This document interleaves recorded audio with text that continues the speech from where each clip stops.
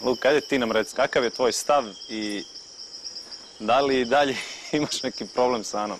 A što se tiče toga sa Anom, ja ne bih rekao da to što da su ti moji stavovi glupi ili da sam ja pogrešio, ja i dalje stojim iza toga, sam bio u pravu i oko, i oko te prepirke koja se dogodila i ne može nikome ubedi drugačije. Ne, ja, ja na primjer, ovo sve ok, ja stvarno cenim kad mi neko nešto kaže što misli i što odmah to da kaže u lici i sve to. Ali, znači, igrali smo neka glupa igra gde blejimo i gledamo ovako i, i ja postavim neko glupo pitanje i on kaže mi, šta postaviš glupo pitanje? Ja kažem, pa dobro, nije glupo pitanje, nego je onakvo pitanje, normalno. On kaže, pa glupo je pitanje. I kreva tenzija i mi počnemo da se svađamo oko ono, neka sitna stvar bez vezi. On kao, glupo je pitanje, pa što pitaš to? Ja kažem, dobro, nije glupo, ako za tebe glupo, za mene nije, onako i probam da iskuliram. Ne, brate, on se, se svađa, znaš, kreva, tenzija. Ali dobro, kažem, eto, to je to. A sad si Dobro, rekao da je glupo pitanje, tako da Pa dobro, ja sam uspeo. Ona, htjela sam re- reći da je glupa igra, da je, da je labava igra, da je blejačka igra, da nije nešto značajno. Luka, prošli put si rekao da ćeš smisliti šta nije u redu sa Anom. Ti si smislio? Ne, nisam stigao od te borbe, onda nisam više ni razmišljao. Odnosno od, od borbe, od te igre koje smo mi kao igrali svi zajedno, celo pleme. I onda rekao, Dakle, e, ja moram da primetim da je Ana napokon nasmejana. Dakle, od svih tema, ovo je bila jedina tema koja je nju uspela da nasmeje, da je popravi raspoloženje. Čak si zacrvenila ispod ovog crvenila sunca. Znači, ova svađica je imala poentu. Šalu na stranu, do sada je svako glasanje bilo manje ili više lako. Ovog puta će po svemu sudeći biti drugačije. Vesna, da li se varam ili ti je možda ovo najteže glasanje do sada? Da, ali mislim da nije samo meni, mislim da jedino ovde koji je ugrožen to je Dula, ali ne zato što ima imunitet. Mislim da ne bi bio ugrožen i da ga nema. Znači da smo svi ostali podjednako ugroženi. Dušane, koji, koji kriterijum će u tvom slučaju biti presudni? Pa ne znam, ja se slažem sa Vesnom.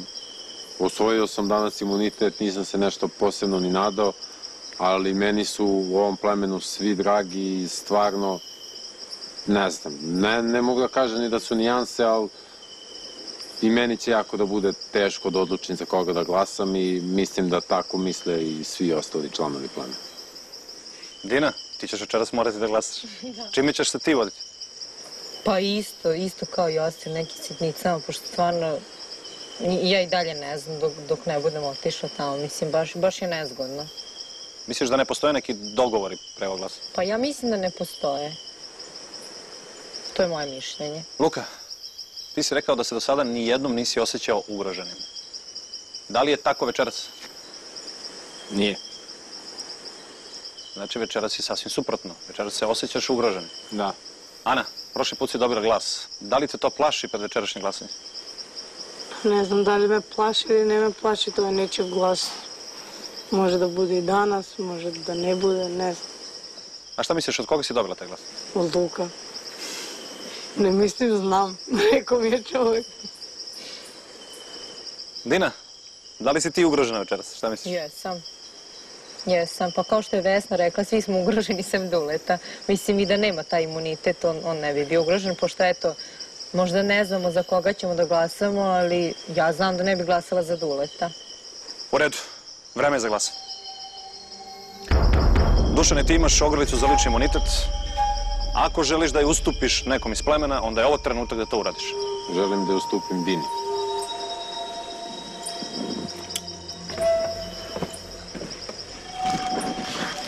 Hvala. Lep gest.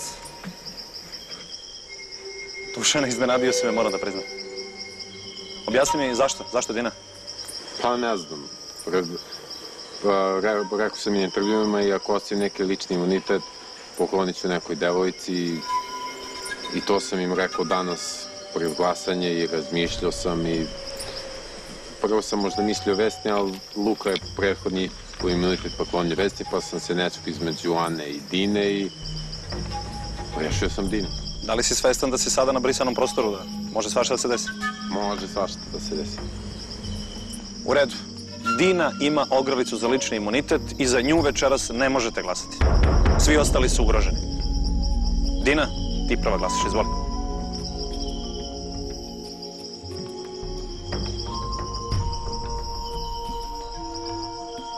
Ana, izvoli.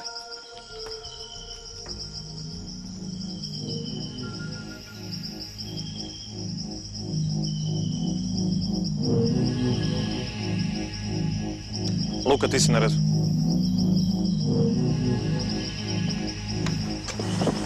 Izgleda da se ne razumemo. Vesna, izvoli.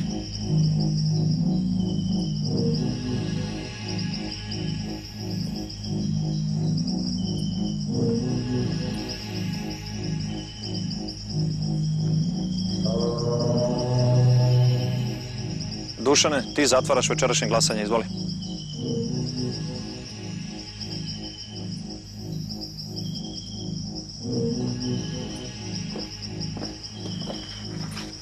Dalje nisam siguran da li je ovo moja dobra odluka.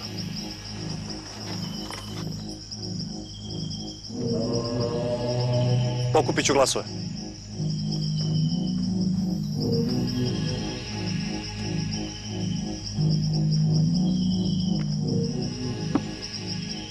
Jednom kada pročitam glasove, odluka će se smatrati konačnom. Osoba koja bude dobila najviše glasova mora odmah da napusti plemenski savjet. Pročitat ću glasove.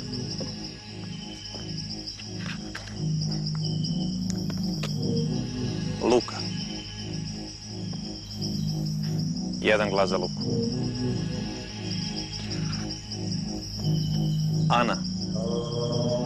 Jedan glas za Anu, jedan glas za Luku.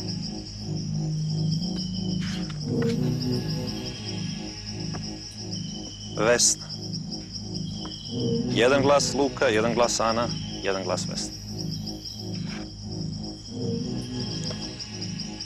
Ana. Dva glasa Ana, jedan glas Luka, jedan glas Vesna.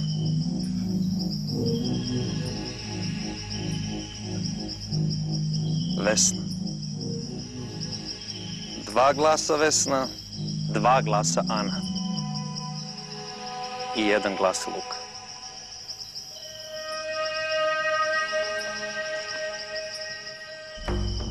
U slučaju kao što je ovaj, kada dva takmičara imaju isti broj glasova, pristupa se ponovnom glasanju.